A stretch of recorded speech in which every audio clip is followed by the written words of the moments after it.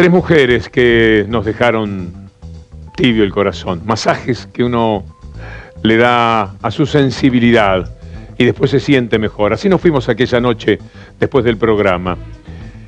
Pero otra jornada marcó mucho misterio, mucha pena, muchas dudas respecto a una historia como la de Cecilia Viñas que todavía tiene muchísimas preguntas sin respuesta.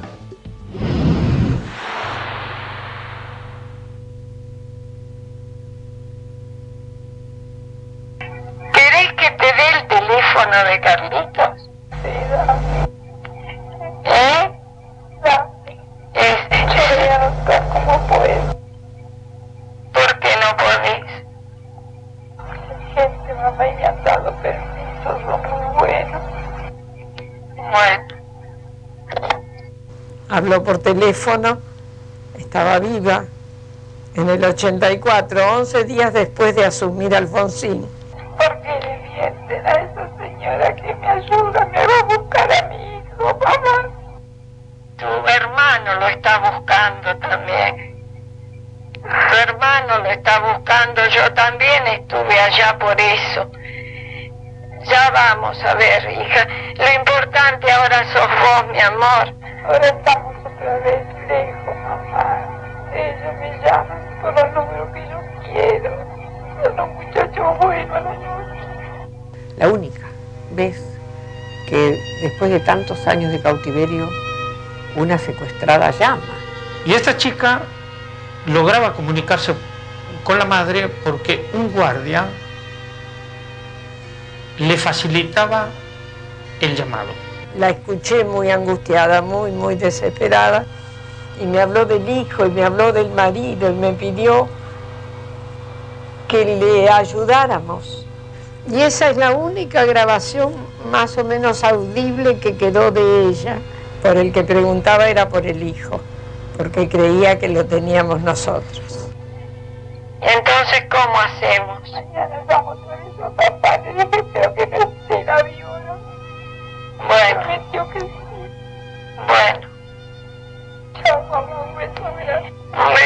Grande, mi cielo. Cuídate mucho, hijita. Yo estoy bien. Yo no, no sabía qué decirte. Yo, yo te tenía que decir la verdad. Nosotros, frente a todo esto, queremos hablar con Alfonsín, El doctor Trócoli nos recibió eh, nos recibe el entonces ministro del Interior, Antonio Trócoli, ya era poner en manos del Estado una información muy seria. le pongo el grabador y Trócoli transpiraba. ¿Qué hace Trócoli con las grabaciones? Entonces me dice, esto hay que informar a la policía para que lo investigue. Hay que hablar con ellos y hay que ver qué dicen. Yo no voy a hacer nada sin que lo autorice la familia. Y nos derivó al jefe de policía, como que nos puso en manos del lobo que cuidaba las gallinas. Pero a partir de ese momento se perdió todo rastro con Cecilia Viña de Penedo. Esto fue mayo del 84. Eh, no se habrá enterado que ya su hijo está encontrado, que era el- le pedía con lágrimas, se sentía su llanto a través del teléfono a su mamá. Saberlo, hija mía, pero te queremos tener con nosotros. Yo estoy sola, Cecilia, pensá que yo puedo irme con vos a donde vos quieras y cuidarte. Y buscar al Carlos. Ah, ¿Querés que venga Carlito? Y ahora no me va a poder ver porque de día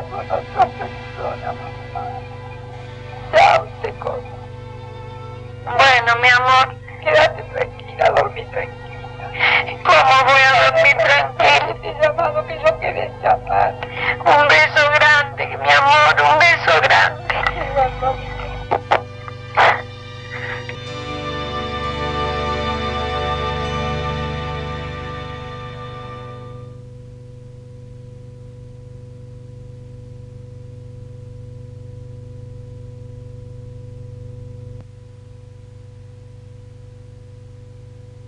Vildosa nunca fue localizado. Claro, Vildosa está prófugo. Y él, eh, de, alguna, de alguna manera, y esto surge en las declaraciones de Victoria Montenegro, de, Catalina de Santi Obando hoy, eh, el, la culpa y el terror que les tienen a estos tipos. Entonces, esto es, en mi declaración yo justamente centré en que mientras Vildosa siga prófugo, ¿eh? yo estoy muy agradecido de lo que está pasando con los, juicios de derechos humanos, con poder ir y declarar después de tantos años, eh, eh, fue, fue una emoción tremenda. El tema es, mientras Vildosa esté prófugo, mi sobrino recuperó la identidad, pero yo no sé si está libre. Es más, estoy casi seguro que no es libre. Particularmente trágico de esta historia de Cecilia Viñas, contada aquí por su hermano, es que fue seguramente un horrendo crimen cometido ya en tiempos de la democracia. Volvamos a los temas más gratos, si se quiere. Periodísticamente fue algo muy importante para nosotros poder hablar con Eve de Bonafini la mayoría de los medios buscaban a Lender. Y Eve aceptó conversar con nosotros en la casa de su hija, allí en medio de esa austeridad, que nosotros no lo necesitábamos, por cierto. Nos ofrecía la certeza de que Sueños Compartidos era, para las madres de Plaza de Mayo, una historia maravillosa, una historia ejemplar. Madres que querían hacer lo que sus hijos soñaron y no pudieron porque los asesinaron Así de simple. Apareció alguien en el entorno que equivocó mucho el destino del amor que había recibido. Y los medios, algunos de ellos se ensañaron particularmente con Eve.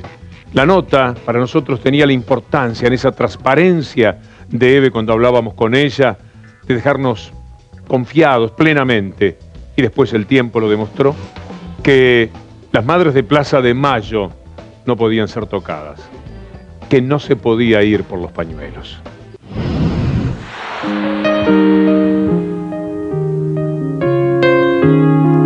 Estamos en el obrador de Castañares, en el cual se están haciendo muchísimas viviendas, que no te puedo decir la cantidad, cuántas eran, 600 y pico, creo. Sueños compartidos, bueno, significa mm, primero un sueño y después un proyecto que se fue realizando con, en otros lugares antes que en este, y para nosotros fue una, emoción muy grande y la culminación de trabajo de años que nosotros comenzamos buscando a nuestros hijos y después ya este, continuamos procurando hacer algo de lo que nuestros hijos querían hacer y no los dejaron. Les cortaron las alas y no pudieron seguir con todo lo que soñaban y nos habían hemos inculcado a nosotras también, ¿no? Y después, bueno, nosotros empezamos y seguimos. Mientras tengamos vida, vamos a seguir haciendo cosas para el país. Por los 30.000 hijos queremos demostrar que estamos acá también. Queremos decirles de que es muy hermoso trabajar con las madres Plaza de Mayo. Eh, la gente va a venir a vivir acá eh, porque lo están haciendo ellos con su propio sacrificio. Se sienten felices más que todo. Eh, los que viven en la villa tienen una oportunidad de tener una vivienda digna. Seguramente que estamos haciendo para nuestra casa, para nuestra vivienda. Es el mismo laburo, pero más, digamos, más, más, eh, más contento porque vos estás haciendo para, tu casa, para tu familia, digamos. Eso está más, más leer encima, te da, te paga para para dar de comer a tu hijo. ¿En qué cambia mi vida? Cambia en todo, para mí y para mis hijos. El aspecto de, saber que ya tenés los chicos con cada habitación, la tuya también, tener, tener que caminar sin barro, digamos, ¿viste? Tener eh, reconocido que, que es tu casa y que te cambian un montón de cosas. Mi hija estudiaba arquitectura. Mira. Entonces al ver esto estarían enloquecidas. Si ellos hubieran estado, nosotros estaríamos tejiendo en una mecedora, descansando, ¿no es cierto? Creo. ¿No? ¿No? creo. Y no, pero como eran ellos los que estaban haciendo las cosas, nosotras ya... Estaríamos detrás de ellos. Las casas salen más económicas en el sentido que son más grandes, porque tienen hasta 70 metros, eh, son equipadas, son casas equipadas, que se entregan equipadas, porque empezamos a pensar que la gente de la villa tiene muy poco para traer. Y si vos le das todo nuevo, lo va a cuidar más que si trae todas las cosas viejas y, y frazadas mojadas y qué es lo que tiene. Entonces decidimos abrir otra, forma de trabajo, que es un lugar de costura, y ellas mismas se hacen las cortinas, los cubrecamas, los acolchados, y se hacen también las camas y, y las mesas. Entonces entrega todo también con otra forma de darle más trabajo también a la gente. Además les damos de comer, les damos almuerzo, les damos desayuno y a la tarde lo mismo. Y, y también en las casas está previsto para la gente que tenga discapacidad. O sea, las plantas bajas son para ancianos y discapacitados. Yo voy a seguir siendo siempre como soy, no voy a cambiar por, por esta tradición o, o de fraude o lo que le quieras llamar. No voy a cambiar, yo siempre voy a tratar de darle oportunidad a la gente que tiene problemas. Porque esa es mi forma de ser de toda la vida, no de ahora que estoy con las madres, sino de antes, de muy joven. Siempre tuve esa idea, que las personas tienen que tener oportunidades.